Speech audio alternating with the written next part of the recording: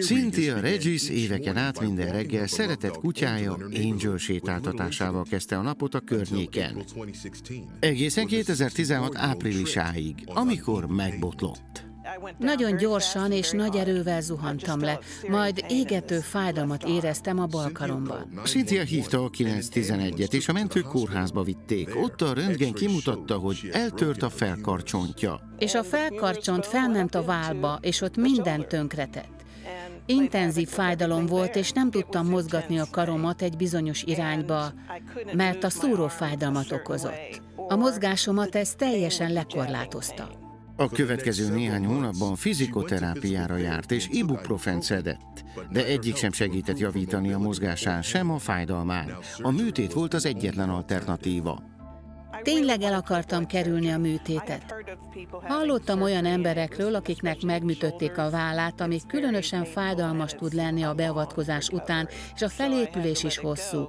Ezért elengedtem a dolgot, de ezzel nem oldódott meg semmi.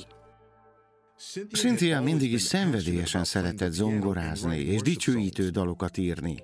Mivel a karja rettenetesen fájt, nem tudta élvezettel csinálni azokat a dolgokat, amiket szeretett. Az olyan egyszerű dolgok, mint egy családtag nyakának az átölelése, vagy egy babát karba venni, ezt nem tudtam megtenni, és ezt nagyon nehéz érzelmileg kezelni.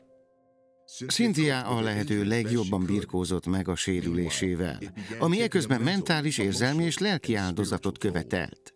A sérülés miatt tényleg úgy éreztem, mintha elbuktam volna.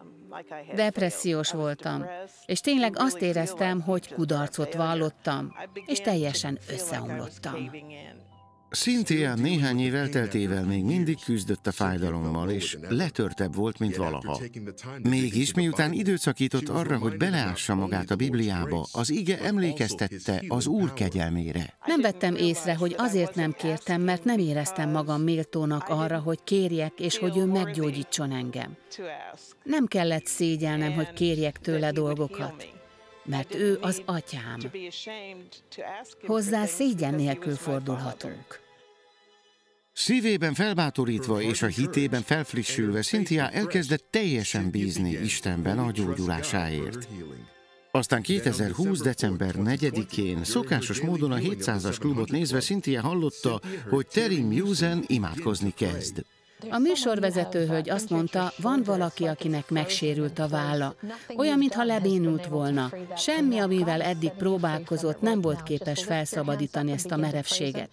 Isten most felszabadítja önt. Csak emelje fel a kezét, és kezdje el dicsérni Istent. A teljes mozgékonyság visszatér a vállába. A tévé előtt hangosan mondtam, hogy én ezt átveszem. Elkezdtem nagyon lassan felfelé mozgatni a karomat, és az csak emelkedett. És azt mondtam, ó, te jó ég, meggyógyultam meggyógyultam. Már nem fáj. Több mint négy év szenvedés után Cynthia műtét nélkül fájdalommentesen tudta mozgatni a karját és a vállát. Tudom mozgatni, és az összes hazugság, hogy nem vagyok méltó, azonnal szerte foszlott. Olyan izgatottnak és szeretetnek éreztem magam. Micsoda változás! Ma Cynthia fájdalomtól mentes, teljes életet él, miközben erősen ragaszkodik az Úrhoz és a hálához. Isten ott volt, hogy meggyógyítson engem, és ez egy hatalmas csoda volt számomra. Az ő gondoskodása megváltoztatta a szívemet.